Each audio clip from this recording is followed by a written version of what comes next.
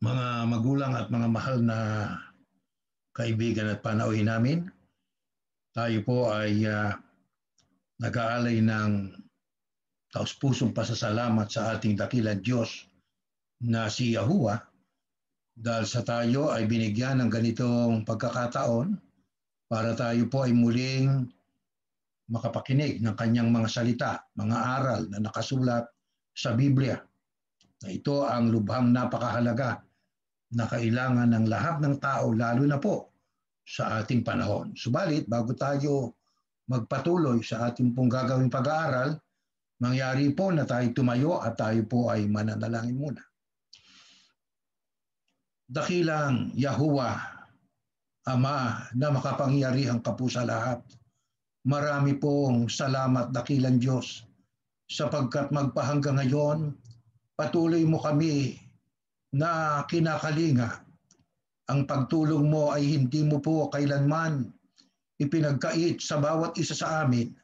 Naririto kami ngayon para aming handugang ka ng taus-pusong pasasalamat Ama dahil sa buhay at lakas na magpahanggang ngayon ay pinamamalagi mo sa amin. Malaki ang aming utang na loob sa iyo. Kaya maging sa maliit na bagay katulad ngayon, mag-aaral kami ng iyong mga salita. Sana madulutan ka namin ng kaluwalhatian sapagkat sumasampalataya kami. Ikaw ang may ibig na ang lahat ng mga tao ay mga ligtas sa pamamagitan po na sila'y makarinig at makaalam ng iyong mga dakilang katotohanan. Kaya amin kang inaanyayahan dakilang Diyos, samahan mo po ang iyong mga lingkod sa pakikinig at maging sa paghahayag ng iyong mga salita ikaw sana ang aming maging patnubay upang ang mga aral mo'y maliwanag na ito'y maihayag sa aming mga mahal sa buhay at mga kaibigan, maging sa aming mga kapatid sa iba't ibang panig ng mundo. Umaasa po kami, dakilang aya ama, ng aming po mga pakiusap iyo nung dininig. Ang aming pong mga pagkakasalay ipinagpatawad mo na sa amin sapagkat ang lahat ng ito ay hinihiling po namin, Ama, sa ngalan po ng iyong bugtong na anak, ang Panginoong Yahushua na siyang aming tagapagligtas. Amen.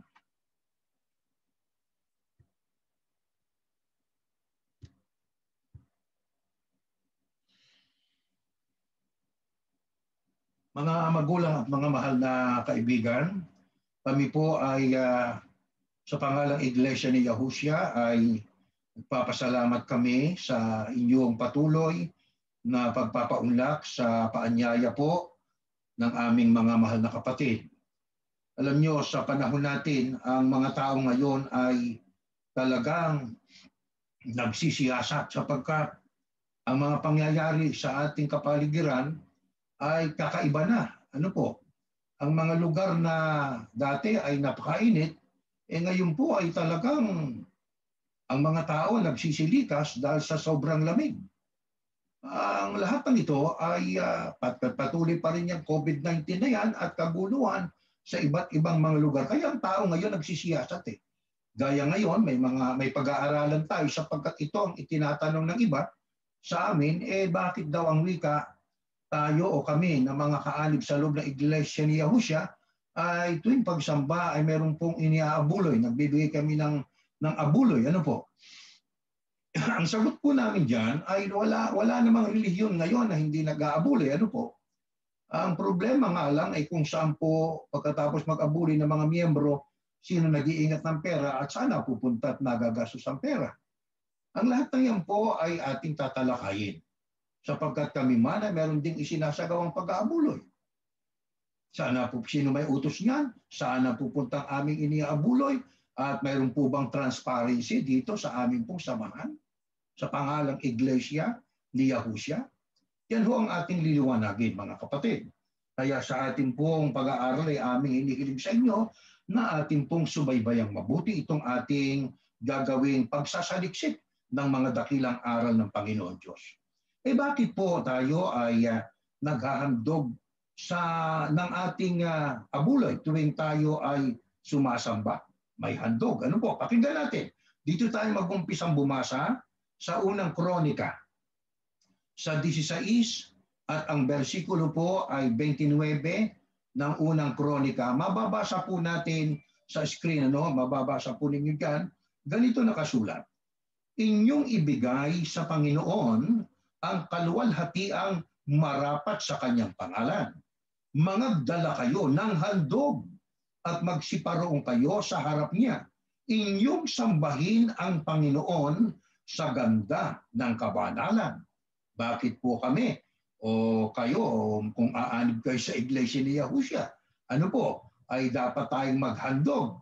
O, eh ang tanong natin ay sinagot ng Biblia. At yan ay nakikita natin sa screen. Ang sabi roon, inyong ibigay sa Panginoon ang paluwalati ang marapat sa kanyang pangalan. Paano po yon? Ganti ang sagot. Ang sabi, magdala kayo ng handog. Sa makatwid, ang pagdadala po ng handog ay yan ay sa formula, utos po ng Panginoon Diyos yan.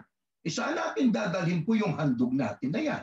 Ang sabi, inyong sambahin ang Panginoon sa ganda ng kabanalan. Kaya maging noong pamanguna, ang paghahandog tuwing sasamba, utos na po ito ng Panginoon Diyos. Yan po ay maliwanag na nakasulat sa banal na kasulatan. Ano po ang ibig sabihin nito? Ito ay ang pagbibigay ng kalwalhatian para sa kanyang pangalan. Sa pangalang Yahuwah, yan ang pangalan ng tunay ng Diyos. Kaya ang Diyos ko'y naluluwalhati. Pagka tayo, inulit ko, naghahandog tayo tuwing pagsamba. Anong uring paghahandog ang hinahanap ng Diyos sa bawat isa sa atin? Babasahin po natin itong nakasulat po sa susunod na talata natin sa unang uh, Korinto, unang Korinto 16.2. Sa English muna, ang sabi, Every Sunday, each of you must put aside some money in proportion to what you have earned and save it up so that there will be no need to collect money when I come. Sa Tagalog, tuwing araw ng linggo, ang bawat isa sa inyo ay dapat na magtabi ng salapi batay sa kanyang kinita, tipunin ito upang hindi na kailang kumulekta ng salapi pagdating ko. Anong uri pong paghahandog ang hinahanap ng Diyos sa atin? Ang sabi sa ating binasa ay uh, paghahandog ng salapi. Kaya sa English, ang sabi, every Sunday, each of you, katumbas bawat isa, must put aside some money in proportion to what you have earned. Kaya tayo po ay dapat magtabi ng salapi para pagdating ng pagsamba, meron tayong maihahandog sa Panginoon Diyos. Kaya ang ating pong uh, ihahandog sa Diyos, gamitin natin ang terminong pag-iaabuli sa ating pagsamba, yan ay dapat po natin inihahanda ano? Itinatabi paghahanda. Ano ang inaidudulot sa Diyos noon? O, ng ating abuli na salapi. Diyan po sa Ebreo 13, 15 hanggang 16. Ganito nakasulat. Sa pamamagitan nga niya, ay maghandog tayong palagi. Pansinin natin ang salitang maghahandog, maghahandog tayong palagi ng hain ng pagpupuri sa Diyos. Sa makatwid baga, ay ng bunga ng mga labi na nagpapahayag ng kanyang pangalan. Datapwat ang paggawa ng mabuti at ang pag-aabuloy ay huwag ninyong kalimutan sapagkat sa mga gayong hain ang Diyos ay totoong, totoong nalulugod. Ano ang naidudulot sa ating Diyos na si Yahuwah ng ating abuloy na salapi? Ang sabi ng Biblia, ito'y totoong nakalulugod sa Diyos. Kaya ang ating pong handog na salapi, yan po ay mahalaga para sa Panginoon Diyos. O ano katunayang mahalaga para sa Diyos yun? Ayan sa talata ng Biblia, may mga utos ang Diyos na siya'y nalulugod. Mababasa lang natin yung katagwa o salita na ang Diyos ay nalulugod. Pinalulugdan sila ng Diyos. Pero pagdating po dyan sa pag-aabuli, ang sabi, sapagkat sa gayong mga hain, ang Diyos ay totoo, totoong nalulugod. Kaya ang Diyos ay sobrang lugod, sobrang galak ang Diyos kapag tayo ay tumutupad ng kanyang utos na magbigay po ng abuloy tuwing pagsabba natin. Kaya ang sabi nga, maghandog tayong palagi. O, Kaya pag sinabing palagi, kailangan po consistent ang ating ginagawang pagsunod. Hindi pa minsan-minsan. Hindi kung kailan lang natin maibigan. Utos ng Diyos po yun eh. Di ho ba? Kaya dapat nating pahalagahan. Diyos ang lumalang sa atin. Tayo kanyang pinagpapala. Tayo may buhay at lakas. Eh, hindi naman tayo hinihinga na ihandog natin ang ating buhay sa Kanya. Katulad ng paghahandog ng panahon ng bayang Israel. Di ho ba? Tandaan nyo, hiningi ng Diyos kay Abraham na ihandog niya ang kanyang kaisa-isang anak. Pero sumunod si Abraham eh hindi buhay ang pinahandog sa atin. Ang ipinahandog sa atin ng Diyos na doon siya totoong nalulugod sa lapi na ating itinatabi, mga kapatid.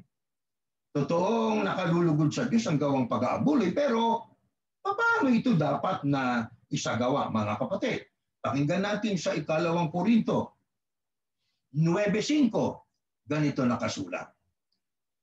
Iniisip ko ngang kailangang ipamanhik sa mga kapatid na mga unang pumaryan sa inyo at ihanda agad ang inyong abuloy na ipinangako ng una upang ito'y maihanda na gaya ng abuloy at hindi gaya ng sapilitan.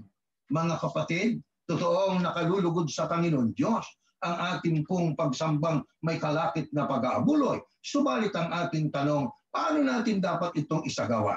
sabi sa talata ng Biblia, ay ating ihanda. Gaya ng sinabi ko na sa unahan ng ating pag-aaral. Sabi ng Biblia, ihanda agad ang inyong abuloy. Ano layunin? Bakit ipinahanda ng Panginoon Diyos? Upang huwag tayong mahulog doon sa tayo napipilitan lang. Ayaw kasi ng Diyos na tayo nag-aabuloy dahil sa tayo napipilitan lang. O, ayaw ng Diyos po noon. Kailangan pagka tayo po ay sasamba, nakahanda na yung ating iabuloy. Maluwag sa kalooban natin. Masaya tayo na nag-aabuloy. Bakit? Nakahanda na kasi. Di ho ba, mga kapatid? Kaya, yan pong pag-aabuloy na iniutos sa atin ng Panginoon Diyos, ikaw ang maghahanda. Ako ang maghahanda ng iabuloy ko. Ang asawa ko siya rin ang maghahanda ng iabuloy niya. Yung mga anak ko sila rin ang maghahanda ng iabuloy nila ayon sa pasya ng puso natin. Pusang loob, voluntaryo, hindi hindi sa pilitan ito, mga kapatid at mga mahal naming mga panauhin. Ano po ang damdamin ng Panginoon Diyos sa mga sumasamba sa Kanya na nag-aabuloy at ang pag-aabuloy nila ay batay sa kautusan niya, hindi sa pilitan, pinaghahanda, bukal sa kalooban, pusa, voluntaryo. Pakinggan natin dito ho sa una ay kalawang Korinto, 9.7, 8, 11 at 12 pa. Ito nakasulat mga kapatid. Ganito ang ating matutunghayan. Ayan. Magbigay ang bawat isa ayon sa ipinasya ng kanyang puso. Kaya pusa, voluntaryo. Kung ano pa siya ng puso, ano po? Huwag mabigat sa loob o dahil sa kailangan. Sapagkat iniibig ng Diyos ang nagbibigay ng masaya. Maliwanag po yan. Ano sabi? Magbigay ang bawat isa. Paano pagbibigay ng abuloy? Ayon sa pasya ng ating puso. O, anong dapat? Huwag mabigat sa loob. Di ba? Huwag yun tayo mag-aabuloy na kasimangot. Di ba? Mabigat ang loob, hindi wag naman pong ganon. O, bakit? Sino ba iniibig ng Diyos sa mga taong sumasamba sa Kanya at nagbibigay ng abuloy? Eh di yung pong nagbibigay na ano, na pusang loob. Yun ang nagbibigay ng masaya. No? Bakit? Ano ba pangako ng Diyos dyan? Tuloy natin sa 8 at itutuloy natin ng 11-12. Bagamat wala sa slide yung 11-12, babasahin ko na lang po ng bukod. Ano? Maaring gawin ng Diyos ang lahat ng biyaya ay magsisagana sa inyo upang kayo na mayroong laging buong kaya sa lahat ay magsipanagana sa bawat mabuting gawa. Kaya pagka tayo nagbigay ng ambuloy, may pagpapala naman ng Diyos. Ano sabi ng Diyos? Maaring gawin ng Diyos ang lahat ng biyaya, magsisagana sa atin. Kaya maaari, posible, kaya ng Diyos yun. Pero sino ang kanyang bibigyan ng biyaya? E yung sumusunod, hindi yung lumalabag sa utos niya. Di po ba, mga kapatid? Ano ngayon ang sabi pa ng apostol na si Pablo? Tuloy natin ang basa dito ho sa akla. Diyan din dyan, pero karagdagan babasahin ko na lang po ito sa Biblia. No? 11.12, Yamang kayo'y pinayaman sa lahat ng mga bagay na ukol sa lahat ng kagandang loob na nagsisigawa sa pamamagitan namin ng pagpapasalamat sa Diyos. Sapagkat ang pangangasiwa sa paglilingkod na ito, hindi lamang tumatakip sa pangangailangan ng mga banal, kundi naman oh, umaapaw, ayun, at sabi ng Biblia, kundi naman sa pangangailangan ng mga banal, kundi naman umaapaw sa pamamagitan ng maraming pagpapasalamat sa Diyos. Ang tanong natin, saan ginagamit yung bahagi ng ating abuloy? E di sa pangangasiwa, sa pangangailangan, takpan ng pangangailangan ng mga banal. Sino ho yung mga banal na nangangailangan? ang tinubos ng dugo ni Yahusya, inaring banal. Iglesia ni Yahusya, miyembro. Kaya yung ating iniabuli po mga kapatid, yung iniabuli ko, iniabuli ng mga kapatid, ang nakikinabang bawat isa din po sa amin. Oh, kaya ako sinabing na amin sapagkat kayo hindi pa kaalib. Ano po? Kaya pinaliliwanag natin ang ganito ayon po sa Biblia. Hindi tayo nagkakaroon ng opinion natin, hindi. Binabasa lang po natin kaya katulad ng ginagamit nating internet, lahat ng ating mga ginagamit para ma uh, iparating sa mga tao sa iba't ibang panig ng mundo, ang mga aral niya nasa Biblia po yan ay utos ng Diyos yan. Kaya doon ang bahagi, nagagastos ang bahagi po ng ating mga iniaabuloy, mga kapatid. Tatandaan po natin yan para alam natin na sa ating ginagawang pag-aabuloy, alam natin mali na malinaw kung saan napupunta ang ating abuloy. Ang ating tanong po ay ito mga kapatid. O, saan pa nagagamit yan? Ang sabi nga po, sa paggawa ng mabuti. Ang abuloy, tinanggap, nag-abuloy tayo. Lilikumin yung abuloy. Dadali niya sa bangko. Sa amin, ang sabi ng Biblia, ay aming sundin yung makagawa rin tayo ng mabuti sa ating kapwa-tao bahagi yon na pinagugugulan ng abulo, yung mga charitable charitable deeds, ano po, yung pagkawang, pagkakawang gawa sa ating kapwa. Kaya ang iglesia ni Yahusha po, hindi kami nagparehistro sapagkat kami ang nagpatuloy eh. Walang nagpatuloy na nagre- nagrehistro. Narehistro na ang iglesia ni, ni Yahusha noong 1968 sa dito sa California. Pero ang pinag ang pinanggalingan nitong orihinal ayon sa hula mula sa malayong silangan niya ng Pilipinas sa mga pulo ng dagat at mula riyan makakarating sa malayong kanluran. 1968 po, nakarehistro na po dito sa Amerika ang Iglesia ni Cristo. Yan ang Iglesia ni Yahusha ngayon na kaiba't pa kami magpapatala kung kami ang nagpatuloy. Di po ba? Kaya nagpatuloy sapagkat may nangyari na pangyayaring maaaring kalooban na ng Panginoon Diyos yan para matupad yung hula na magtitira ang Diyos ng napakakaunting labi sa kanyang bayan sa huling araw, sa anak na babae ng Sion. Alam ba ninyo ang kahalagaan nitong ating ginagawang ito, mga kapatid? Kaya dito sa amin ay mayroon kaming uh, ginamit na platform. Ano po? Pagkat ang ibang mga relihiyon na nagparehistro, eh, aba, eh, yan po ay wala ho sila. Sabi nga, ang iglesia ni Yahushua ito, kami po ay gumamit ng tungtungan. Platform, kumbaga, parang tungtungan. Pagka ikay nakatungtong, ang nakikita, hindi yung tinutungtungan natin, kundi yung nakatungtong. O, sapagkat ang iglesia ni Yahushua, yan po ay gumamit ng platform, ito nga ang OFIRPA. O, ito ang foundation. At dahil sa foundation na yan, hindi po pwedeng hindi kami mag-report sa IRS. Taon-taon, ang iglesia ni Yahusya, ang abuli namin, saan ginastos, magkano pumasok, saan napunta, saan napunta itong halagang ito, kada penny po accounted for. Oho, bakit? Eh, nagre-report kami taon-taon sa IRS. May check and balance.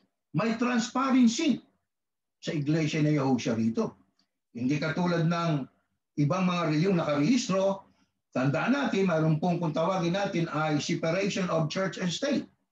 Ang sabi nga, unlike other na relihiyon, mayroon silang 51, 501c3 organizations and charities churches are exempt from filing financial or financial information with the IRS, including the annual Form 990, which tracks every penny that comes into a secular nonprofit and every penny it spends. Kaya ang ibang relihiyon, hindi natatrack ang mga pe, kahit penny na pumapasok sa kanilang taba ng yaman nila at kung saan nagagastos sapagkat hindi naman po sila nagre-report sa IRS taon-taon eh. Eh kami, nagre-report kami. Kaya nakikita ni Uncle Sam kung sa gaano pong mapunta sa aming abuloy, ang aming natipong abuloy at kung nababawasan man, sana pupunta yon. Di ho ba? Accounted for lahat po yon. Kahit single penny. Kaya narito sa Iglesia ni Yahushua ito, narito ang transparency. Sapagkat ang mga ibang relihiyon, kung hindi sila ino-audit ng gobyerno taon-taon, gaya namin, hindi namin, nangyari na po yan sa ibang relihiyon. Doon pumapasok ang isipan ng Diablo para tuksuhin na gamitin ang fund nila ng church sa personal nilang pangangailangan. Di po ba? Pero dito sa Iglesia ni Yahushua, ayaw naming maulit po ang nakaraan. Totoong may kasabihan tayo na history repeats itself. Pero wag sa ito ang aming ngayon pa lang iniingatan na po namin. Mangyari na sa ibang mga grupo yan pero sa amin hindi po namin papayagan yan. Pinakaiingat-ingatan po namin yan. Kaya dito sa Iglesia ni Yahusha po, ang lahat ng abuli na pumapasok ay accounted for. Kung sana pupunta inulit ko, ay accounted for din po yan. Taon-taon, nagre-report kami sa IRS, mga kapatid. Ngayon, alam nating si Adan at Eva na may anak, si Cain at Abel, ano? Naghandog din sila eh. Alam niyo marahil kung kaninong handog ang tinanggap. Ano po? Yung handog ni ni Abel. Kaya nainggit itong si Cain. Ngayon, ang tanong natin, nagpatuloy ba ang utos ng Diyos na ukod dyan sa paghahandog na yan? Nung panahon ni Moises, panahon ng bayang Israel? Basahin po natin sa Exodo, sa 25 1 hanggang 3 ng Exodo. At ang Panginoon ay nagsalita kay Moises na sinasabi, Salitain mo sa mga anak ni Israel na sila'y magdala sa akin ng isang handog ang bawat tao na maganyak ang puso sa kagandahang loob ay kukunan ninyo ng handog sa akin.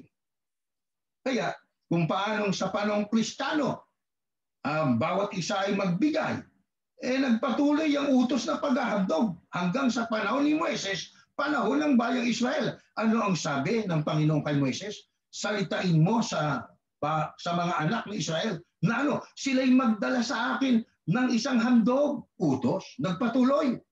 Ang bawat tao, bawat tao uh, na maganyak ang puso sa kagandang loob ay kukunan ninyo ang wika ng handog sa akin. Kaya ang may kagandang loob, nagahandog. Pero ang walang taglay na kagandang loob, hindi maghandog yun.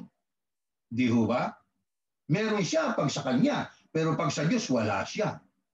Kita ng Diyos po yun. Alam ng Diyos po yun. Alam niyo ba kung gaano ho kahalaga, gaano ang halaga na kanilang inihandog? At kung ano yung kanilang inihandog ng panahon ni Moises, tuloy ko lang ang basa sa 3, at ito ang handog na inyong kukunin sa kanila. Ginto at pilak at tanso. Isipin ninyo. Ginto, pilak at tanso. Kaya, magkano ang gramo ng ginto ngayon sa panahon natin? Di ba? Eh noon yan ang kanilang mga inihandog. Panahon ni Moises, panahon po ng bayang Israel. Kaya pahalagahan po natin ang ginagawa nating paghandog o pag-aabuloy sapagkat ito po ay utos ng Diyos. Ito po ay aming ipinangangaral sa inyo. Kung tatanggapin po ninyo, salamat po.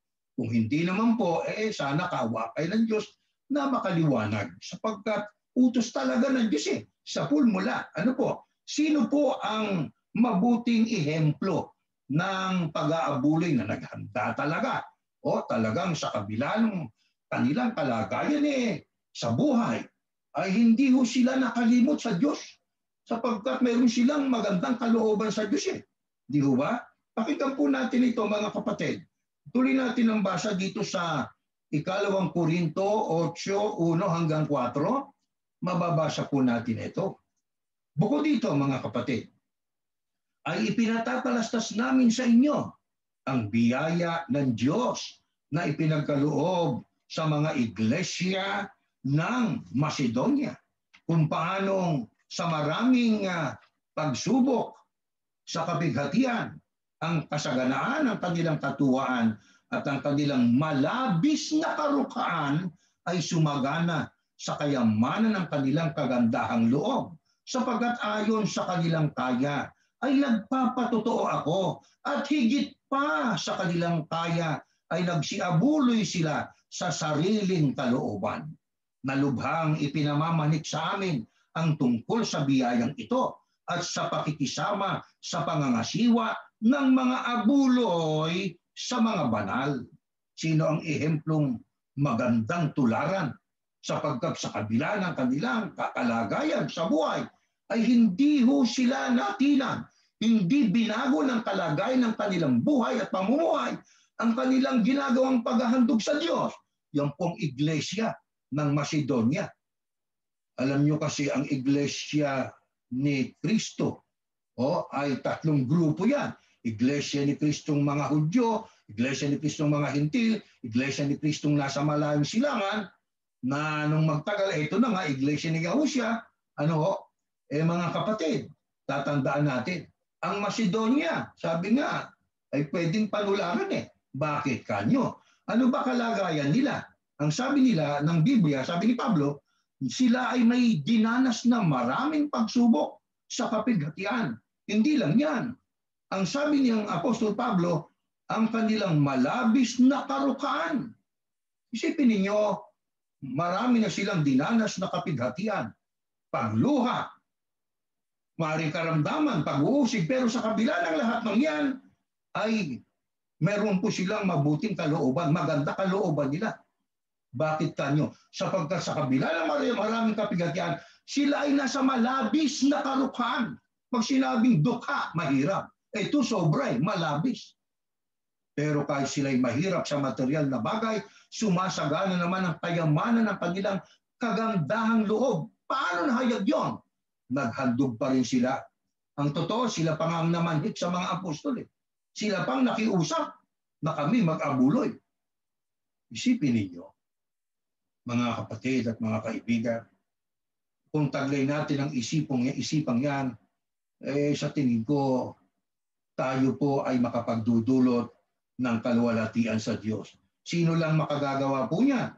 Eh yung pong may magandang kalooban. Ano po ang natitiyak noong may magandang kalooban? Pakinggan po natin sa Kawikaan 22.9. Mababasa natin ito. Ang may magandang loob na matay pagpapalain sapagkat nagbibigay ng kanyang tinapay sa dukha. Mga kapatid, ayon po sa Biblia, ano po ang matitiyak na tatanggapin ng magandang kalooban kahit na siya naghihirap at nasa kapigatian eh talagang nagbibigay pa rin ng abulin niya sa abot kaya niya. Ang sabi ng Biblia, may pagpapala ang ganong tao. Paano pagpapalain ng Panginoon Diyos ang nagbibigay sa kabila ng sitwasyon sa buhay na mahirap? Marami pang kalumbayan at kapigatian. Tuloy natin ang basa sa ikalawang Korinto 9.8, ganito po ang nakasulat. At maaaring gawin ng Diyos na ang lahat ng biyaya ay magsisagana sa inyo upang kayo na mayroong laging bungkaya sa lahat ay magsipanagana sa bawat mabuting gawa. Paano pagpapalain ng Diyos ang mga mapagbigay, ang may magandang kalooban? Bibigyan ng Diyos yan ng saganang mga biyaya. Sino ang ayaw niya? Alam niyo ang Diyos, kung kailangan siyang maghimala, gagawin niya yon alang-alang sa kanyang mga alagad. Kayo ba'y sumasampalataya puro? Bay isipin ninyo ang bayang Israel noon, di ba? Ang Israel noon eh, talagang nagdana sila ng matinding uh, kahirapan. Naglalakbay sila. Eh nung sila'y magutom, nagbigay ang Diyos ng mana. Di ba? Nagbigay, nagpaulan ang Diyos ng pugo para sila ay may makain. Himala yun o hindi himala? Himala. Kaya kung noon ay nagawa ng Panginoong Diyos yan, sa mga anak niya may magandang kalooban sa Kanya, sa kabila ng kahirapan ay tumutupad sa kalooban niya, pagpapalain sila ng Diyos. Ang Diyos ay tapat sa Kanyang pangako. Ano po ang gagamitin ng Diyos na barometro o sukatan ng biyayang Kanyang ibibigay sa atin? Sapagkat pagpapalain tayo eh. Pakinggan po natin. Dito ho sa aklat ng Lukas. Ganitong ating mababasa sa Lucas 6:38. Ganito po nakasulat. Ayan. Alam nyo, ayan ang nakasulat diyan. Magbigay kayo upang bigyan din kayo uh, ng Diyos. Ayan, nakasulat diyan. Ano? Ibabalik sa inyo ng sobra-sobra at umaapaw ang ibinigay ninyo. Isipin ninyo, magbigay kayo upang bigyan din kayo ng Diyos.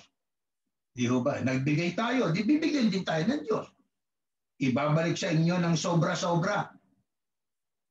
Oh, hindi lahat ng kinita natin ipinahinihingi ng Diyos. Hindi. Pusang loob kung magkano. Ano po? Pero yung ating ibinigay sa Kanya, ibibigay din niya sa atin. Pero ano, sobra-sobra. Umaapaw ang ibinigay ninyo. Sa, oh, at ulitin ko lang ba, sa, magbigay kayo upang bigyan din kayo ng Diyos. Ibabalik sa inyo ng sobra-sobra at umaapaw ang ibinigay ninyo sapagkat kung paano kayo magbigay sa iba, ganun din ang pagbibigay ng Diyos sa inyo. Sa dating salin, pagka binasa natin, ang sabi roon, sa pagkanukat na inyong isukat, ay doon kayo muling susukatin. Kung ano yung ating ibinigay, doon ibabatay ng Diyos ang kanyang pagpapala.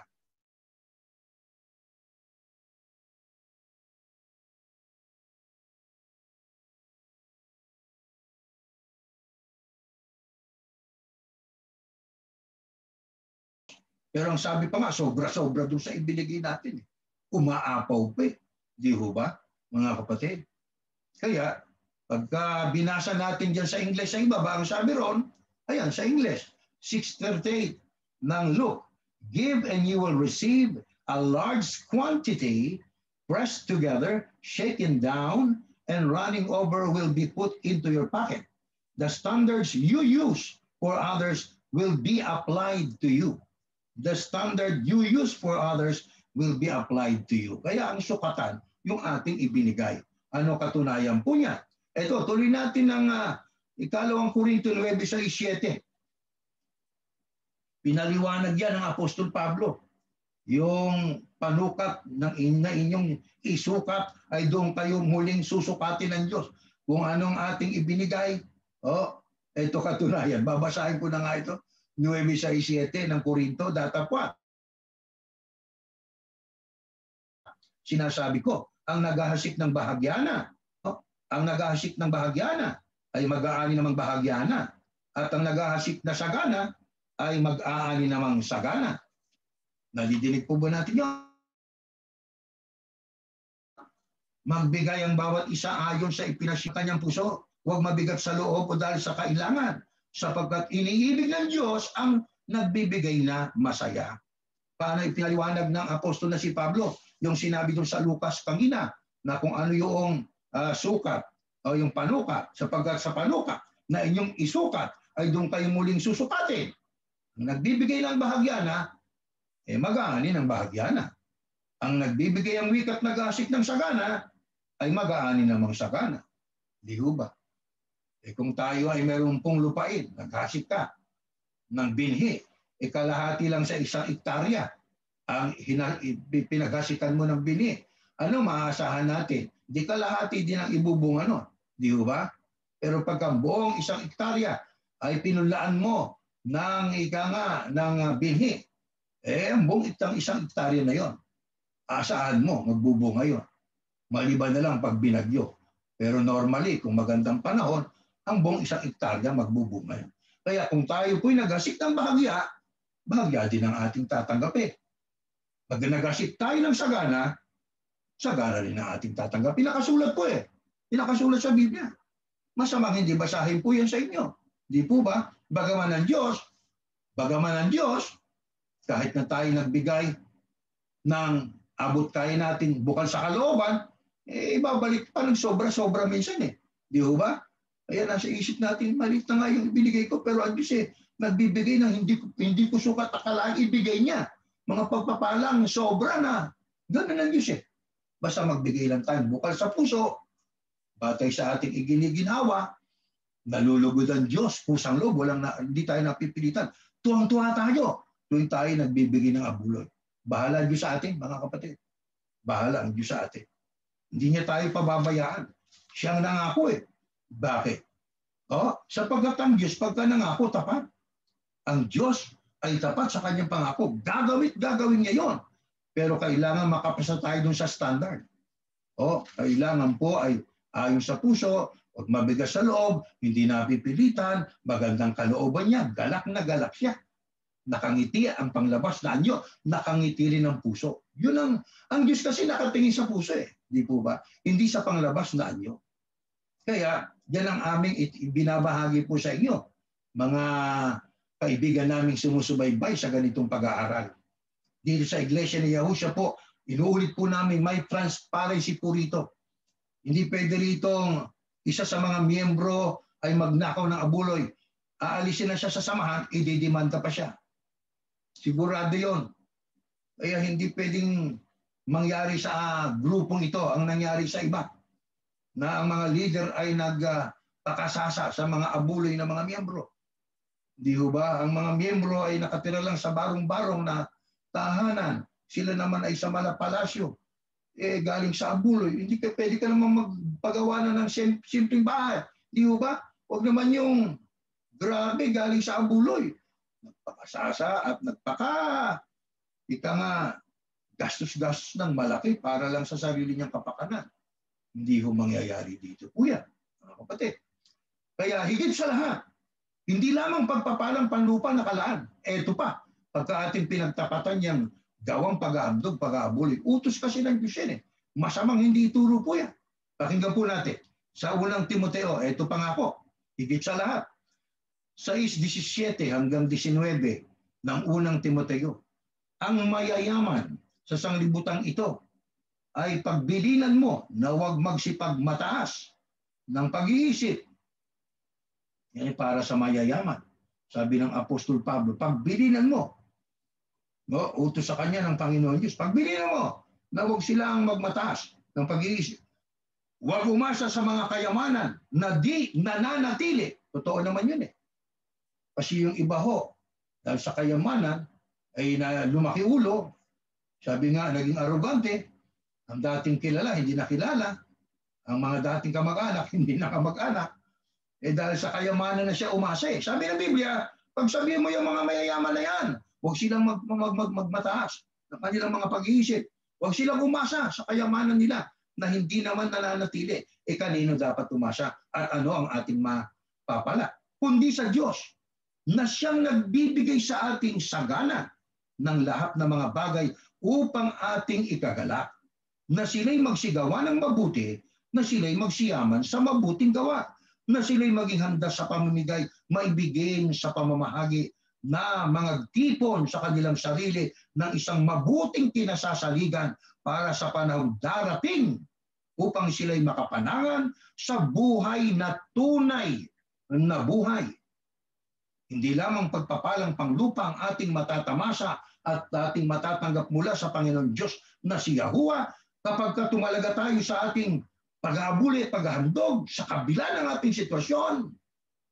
Ang sabi pagka nagtapat tayo, nagbigay tayo, naghandog tayo, maibigin tayo sa pamamahagi ng ating pananampalataya.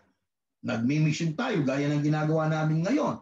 Aming ipinalalaganap ang mga aral ng Panginoon Diyos.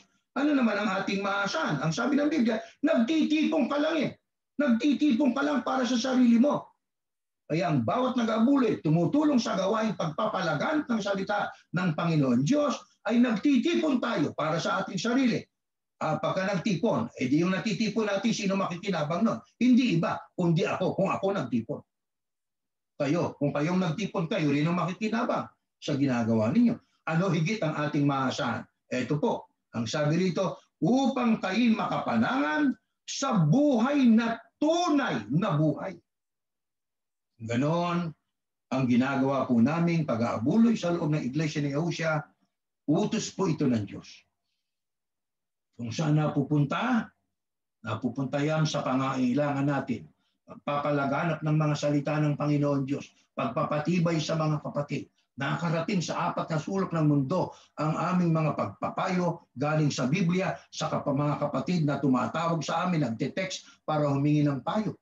Nakakarating sa mga kapatid sa iba't ibang panig ng mundo ang mga aral ng Diyos sa pamamagitan ng ginagamit nating technology. Nagbabayad tayo po yan, mga kapatid. O, at higit sa lahat, ang sabi ng Biblia, ito'y nakalulugod sa Diyos. At kapag ka ang Diyos ay nalugod, pagpapala ang kanyang ibibigay sa atin dito pa lang sa buhay na ito. Hindi niya tayo pababayaang mamatay sa gutom.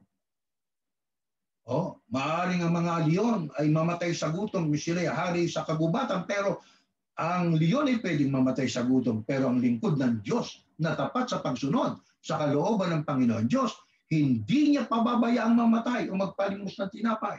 Hindi po. At higit sa lahat, hindi niya kalilimutan para tayo bigyan ng buhay na tunay na buhay.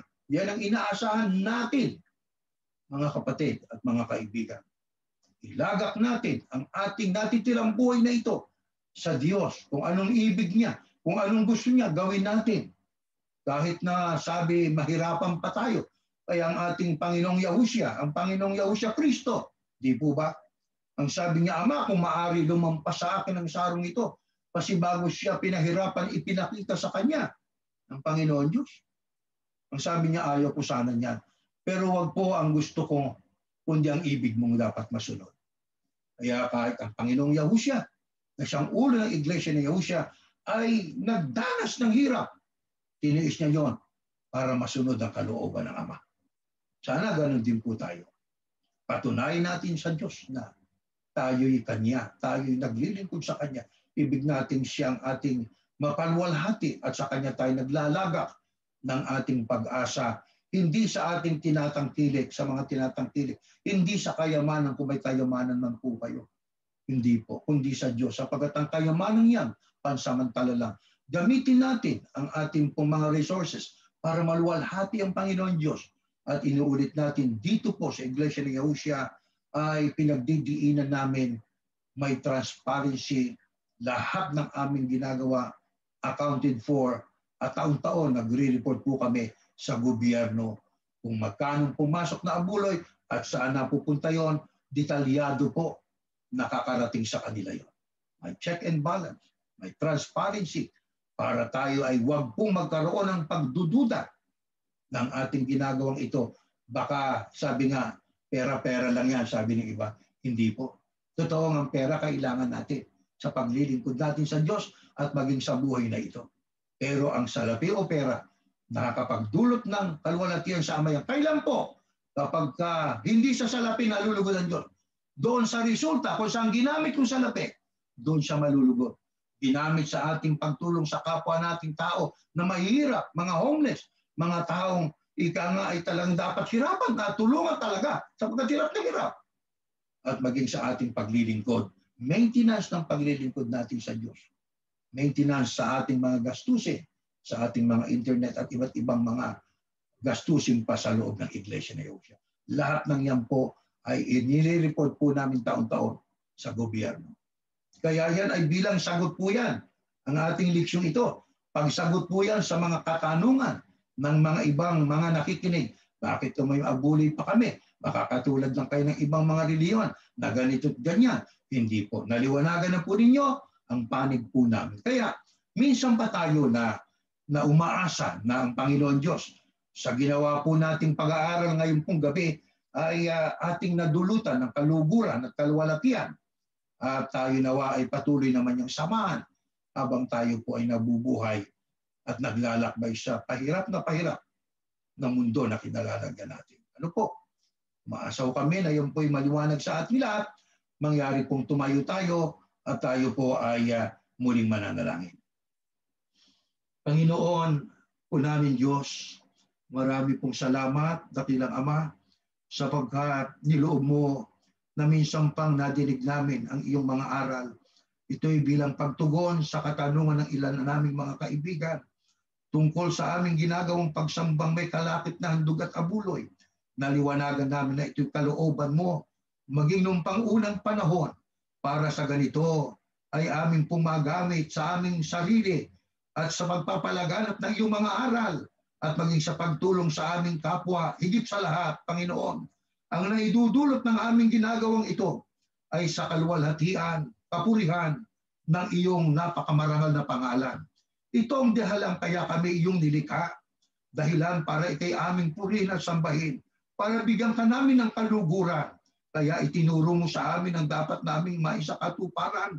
Gawin namin ito ng buong puso, hindi napipilitan, buong galak, pusang loob, Panginoon, upang sa ganito, ikaw ay aming mabigyan ng kalkalugur at kalwalhatian sapagkat ang iniibig mong nagbibigay at nag-aabuloy ay yung nag-aabuloy ng masaya sapagkat alam namin kung saan napupunta ang aming abuloy at higit sa lahat, nadudulutang tama ng kaluguran sa lahat ng panahon.